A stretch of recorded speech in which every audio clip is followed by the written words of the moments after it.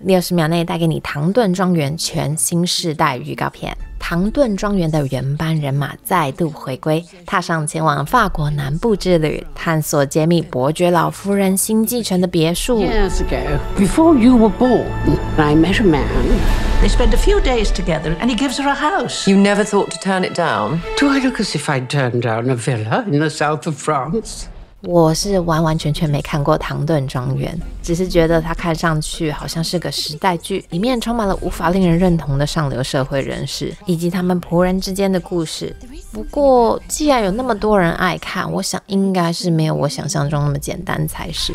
而且啊，这还是电视剧结束之后的第二部电影哦。不过，虽然我绝对相信它是一部神剧，可是我是真的不太想浪费青春看完六季，还加上上一部电影。